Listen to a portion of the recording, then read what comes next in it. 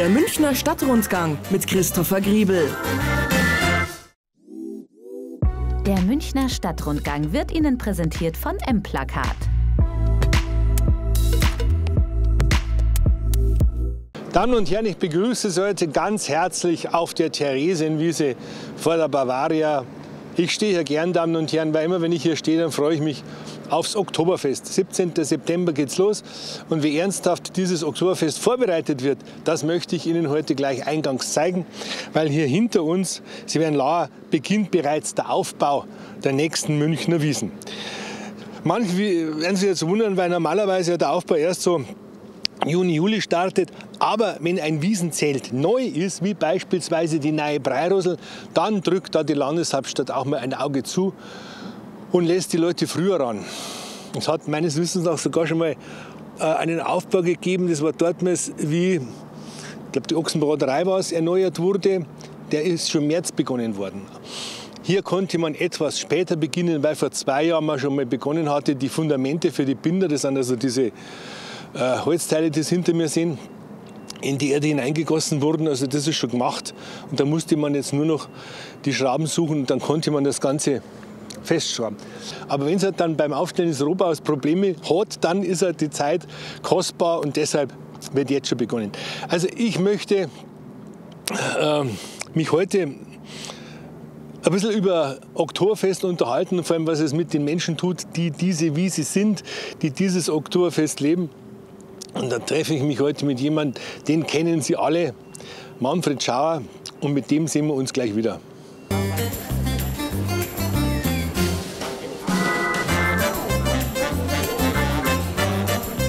Der Münchner Stadtrundgang mit Christopher Griebel. Der Münchner Stadtrundgang wird Ihnen präsentiert von M-Plakat.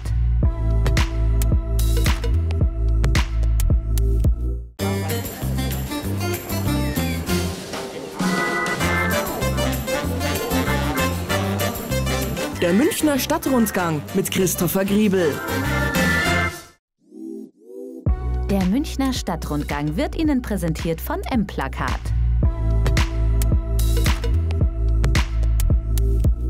Damen und Herren, ich begrüße Sie jetzt zusammen mit Manfred Schauer, dem Schichtel, der hier vor der Scholle steht, die für ihn die Welt bedeutet, wie ein Wissen ist. Wie geht's Ihnen so, wenn Sie da, da stehen, Herr Schauer? Mir tut nichts weh und normalerweise, wenn ich da bin, habe ich schon wieder Schmerzen. Sie könnten doch sagen, ich freue mich so sehr, Herr Griebel, ich kann es gar nicht sagen. Die Wiesen der Schichtel ist mein Leben geworden. Wirklich. Und wie lange machst du das jetzt? Seit 85. Seit 85? 37 Jahre. Und hat das nicht gereiht? Nein. Doch, die erste Wiesen, na, vier Tage erste Wiesen habe ich gesagt, ich gehe, ich stirb, ich komme nie wieder, äh, das, das schaffe ich nie. Haben sich die Einkünfte im ersten Jahr mit dem gedeckt, was Sie sich erhofft hatten? Oder war das auch so? Wir hatten keine Hoffnung, wir haben nur fixe Ausgaben gehabt. Wir haben die Frau Eichelsdorfer, also meine Vorgängerin, ja. auszahlen müssen. Wir haben Personalkosten gehabt, wir haben Anschaffungen gehabt, weil wir haben den Wagen ausgepackt. Das war wie äh, Zaubertüten, was da rausgefallen ist. Und Zaubertüte? Ja, ja. Im wahrsten Sinne des. Zerfressen und vermutet, oder was? Ja, aber gut, das war ja vorher gestanden auf der Wiesen. Aber ja. da war äh, die Inhaberin, die war ziemlich über Arzt geht, der hat sich nicht mehr so kümmern können. Und ihr Mitarbeiter, der hat halt auch nicht so richtig, keine Ahnung, ich will die Monat schlecht machen. Aber äh, ein bisschen, wo man gesagt hat, jetzt, jetzt sehen wir, wo es hingeht. Ja. Nach der Investition braucht man einen Finanzplan. Den konnte man gar nicht machen, weil wir erst mal schauen, was kommt ein Umsatz, was kann man überhaupt erzielen, wie hoch sind die Begleitkosten. Und dann haben wir das Ziel gehabt, nach vier, fünf Jahren soll der Invest herin sein und so war es. Wie hat denn Ihr Kompanie dort mal geheißen, der Typ, der große mächtige Mensch, der sogar Porsche-Brillen birgen hat können. Hä? Ja, ja. Das war der, Wolfgang Leirer. Ja, der Leirer. Der hat Porsche-Brillen. Der war, der war also im, zumindest im, im, im weiblichen Bekanntenkreis dafür bekannt, dass der immer die Porsche-Brillen so schippieren hat können. Da hat er mit seinen großen Händen. Also der war, der war nicht besonders groß.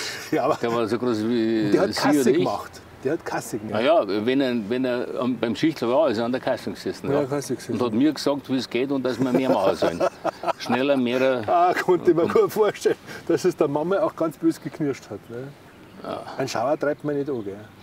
Äh, weil eh keiner schneller ist wie ich. Also in gewissen, wissen Sie, wie ich meine? Also um Gottes Willen, äh, viele sind schneller oder besser, das ist gar keine Frage. Aber in dem Metier, äh, Ja. Schwierig, gell? Ich horch hin, heißt aber nicht, dass ich tue, was ich höre. Gibt es eigentlich noch diesen alten Wagen, wo das Zeug alles drin ist? Oder ist Den das haben wir, ich kann mich heute wirklich in den Hintern beißen, den haben wir Ende der 90er Jahre, habe ich den dann, also Anfang der, ja, ja, pass auf, Ende der 90er, Anfang 2000 habe ich ihn verkauft für ein verkauft. paar hundert und das, mein, Ja, weil es das Museumstücke, gell? ja. Ins Museum, weil er eh nicht reinpasst. Aber, aber er war auch nicht schön, er war nur alt, mein Ja, Gott. halt. Naja, ich meine, die Schönheit kommt im Auge des Betrachters dann Ja. erst zustande. Gell? Und, und wer baut dann das dann alles auf? Wie muss man sich das vorstellen? Haben Sie dann Leute? Da, oder? Das macht, also äh, war früher die Firma Deuter, das zählt, mir gehört nur die Inneneinrichtung, Okay. weitgehend vom äh, Theater komplett. Ja. Und das ist geliehen von der Firma Deuter, die wiederum der Firma Plätschauer gehört. Und die machen das wirklich genial. Die bauen so viel auf der Wiesen auf und sind zuverlässig, präzise. Also ich muss sagen, Glück, dass wir so eine Firma haben. Ja, ja, und klar. ich sage das jetzt nicht, dass ich einen besseren Preis kriege, weil ich habe eine Indexsteigerung schon gekriegt, 9,5 Prozent. Es gibt so ein Level oder so ein, ein, ein Maß, was das durchschnittliche Leben teurer geworden ist. Und das wird jährlich errechnet. Und das jetzt von 2019 auf heuer mit 9,5 Prozent. Und das steht im Vertrag drin, dass man alle paar Jahre den Index Ich angleicht. verstehe, verstehe. Was wir jetzt miterleben, ist, ich glaube, ein Problem, was Sie dann diese ganzen Wiesentage haben werden, nämlich dass die Beschallung von außen her viel stärker ist als die Stimme des Schauers, der die Leute akquirieren sollte. Jetzt leitet da hinten die Glocken. Und Die ist- hört kein Mensch. ja, aber wenn da rundum und um die blären, kommen Sie, Also- schauen seien Sie dabei, Ja, da steigen Sie zu. Ja, aber das geht. Es ist nur, da, da sprechen Sie gerade was an. Ich schätze jeden Kollegen. Jeder, jeder arbeitet und kriegt keiner was geschenkt. Äh, nur gegenüber einer Geisterbahn. Das ist halt, diese halt Frequenz, die, die haut da durchs Ohrwaschel durch und überschlagt sie im Weil Kopf. es so pfeift, Weil ich jetzt einer auf dem Mikrofon habe und dann Ja. im Kopfhörer. Die sollen ihr Geschäft machen, um Gottes Willen. Aber da muss ich noch reden, ob wir heuer vielleicht nicht unbedingt eine Geisterbahn hinstellen müssen. Ja, haben wir da tatsächlich Einfluss drauf? Nein. Nicht. Aber ich kann, kann bitten äußern. Ich kann, ja, äh, vorschlagen. Und man, Stadt meint es mir ja gut. Also da darf ich nichts sagen. Da darf ich mich überhaupt nicht beschweren. Die meinen es uns wirklich gut. Es geht vom Clemens Baumgärtner bis zu den Herrschaften, die eigentlich da vorne in diesem, das sind wenige, das sind 15, 20 Leute, die das ganze Oktoberfest organisieren. Das ist der, der, der Herr Spindler, der Herr äh, Orthuber, der Herr der André ähm, Listing. Äh, das sind die führenden Köpfe. Dann haben es noch andere dabei. Die Gabi, die, Gabi Weißäppel. Babke war es, weil, weil Söppel ist nicht mehr dabei. Aber ich muss mich erst wieder justieren, dass ich die Namen, die mir so parat sind, nach so vielen Jahren. Ja, man braucht halt die Gesichter, dann fällt es einem sofort ein. Ja. Ich, ich habe das auch oft, dass ich irgendwelche Leute in der U-Bahn triff und äh, kommt mir bekannt vor. Und wenn ich den dann woanders treffe, tat, Also ein Fahrkartenkontrolleur zum Beispiel. So, ja, hab, ich hab, genau. Ich habe mal eine getroffen, da hat es aber ein Akkordeon gespielt. Und die ist mir so bekannt vorgekommen, bis mir dann gesagt hat, dass sie im früheren Leben Fahrkartenkontrolleurin gewesen ist. Und dann weiß ich, dass man mal 60 Euro abknüpft hat. Verstehst Ja, ich Da, verstehe. da brauchen wir halt dann wirklich die, den, den Bezug dazu. Ich, wenn, wenn, ich mir das jetzt so vorstelle, dann, dann, ich, also da, da kommen die Leute dann raus, da ist diese Tier, da hinten ist der Ausgang. Oh, Entschuldigen Sie den ja, Interruptus. ja. Große Neuheit heuer. Das machen wir. Weil die Tür vom Ausgang, die ist ungefähr, die ist ungefähr da. Und da ist so ein große Fassadenteil. Ja. Da steht drauf jetzt, da steht jetzt da drauf, weil hinter der Fassade ist unser Aufenthaltsraum. Der ist dann da, der sogenannte Puma-Käfig. Puma. Und draußen steht dann äh, Internationales Provinztheater. Darunter steht die Wiesen wird unterm Fallbeil entschieden, dann steht Wunder drauf, das kommt alles weg. Wir machen einen riesen Bildschirm hier, der sequenziell unsere Vorstellung zeigt, weil wahnsinnig viele Leute an die Bühne gehen, an die Kasse und fragen, was gibt's denn da? Und jetzt machen wir mal, ich probiere es, es ist ein Stilbruch, das weiß ich, aber wenn nicht mit der Zeit geht, der geht mit der Zeit. Also mit diesem 66 Zoll Bildschirm in der Höhe aufgestellt, mal schauen, ob das was bringt, dass die Leute auch mal, wenn es vorbeiging und es ist tote Hosen auf der Bühne, dass sie schauen, ah, das passiert da drin. Das wird so 90 Sekunden, dann wird es immer wiederholt. Ja, ich verstehe schon. Und während der Parade dann ausgeschaltet, oder? Genau, weil sonst schauen halt Leute den Fernseher und nicht mich. Ja, ja. Oder uns. Ja, ja, ich bin ja, auch bloß ja. einer. Wie ist, wie ist diese, um zum Ende zu kommen, äh, was, was gruppiert sich um diese Hinrichtung herum? Weil es gibt ja eine Hinrichtung, das ist der Höhepunkt des Programms, aber ich erinnere mich aus meiner Kinderzeit, da gab es ja noch einen Zauberer, da gab es dann diesen Ja, ja, berühmt- ja, ja. berüchtigten Schmetterlingstanz, Äh, also, Highlight heuer, der Erotik. also wir haben heuer äh, von äh, sind den Buff haben früher geheißen, Sergei Maria. Ähm, ich weiß den auch Künstlernamen, aber ich werde eigentlich, sobald ich habe, rufe ich an und sage ihnen den Künstlernamen. Ja, was die haben einen, einen so? völlig, die, die binden Publikum ein, machen so, äh, wie soll ich sagen, so Synchrontext. Also der kriegt das Mikrofon hingehalten und bewegt bloß die Lippen und hinten kommt der Ton und da werden Interviews gemacht, die ganz witzig sind. Also interaktiv mit dem Publikum, wie die Enthauptung auch. Und dann haben wir noch eine musikalische Nummer.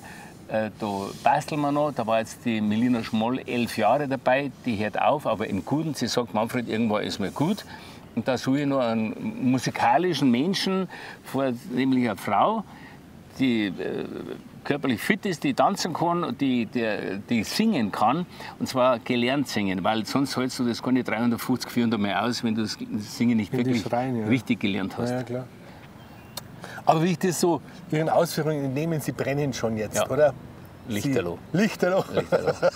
Also ich sage Ihnen was, äh, zum Abkühlen gehe ich dann in ein Solarium, Gegen so so rein. dass ich wieder kühl wäre. Und wir, wir, wir, wie bereiten Sie sich gesundheitlich vor? Weil ich meine, es ist ja Gar nicht. Strapaze, mach Strapaze, Körperlich Strapaze. schon. Ich, ich, ich tue Radl fahren, ich mache ein bisschen was mit den Handeln und für die Beinmuskulatur. Einfach, aber ich will sowieso fit sein. Okay. Also das ist mein Anspruch an mich selber. Und dann einfach äh, die mentale Stärke, die Freude. Ich bin so stolz auf das Kabinett, dass ich einer von den Eife bin. Und in der Gastronomie, das ist eine andere Abteilung. Aber wir sind immer Eif, das sage ich, ich bin einer von elf. Ich bin halt der Leithammel, aber wir sind Eife. Und da, wenn einer nicht funktioniert, macht es keinen Spaß mehr. Wenn er schauen wir aufhört, wird es dann noch eine Schichtel geben? Ich hoffe, darum, äh, da- dafür habe ich mir nicht jetzt dann, äh, keine Ahnung, was alles kaputt gemacht.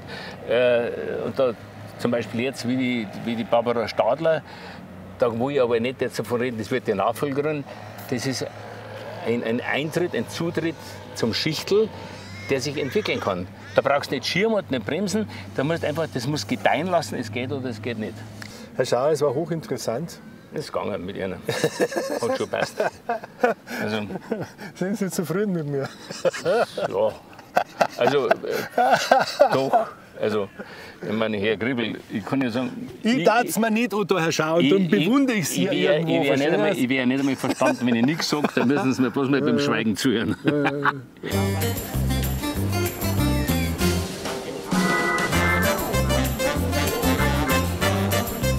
Das war der Münchner Stadtrundgang mit Christopher Griebel. Der Münchner Stadtrundgang wurde Ihnen präsentiert von M-Plakat.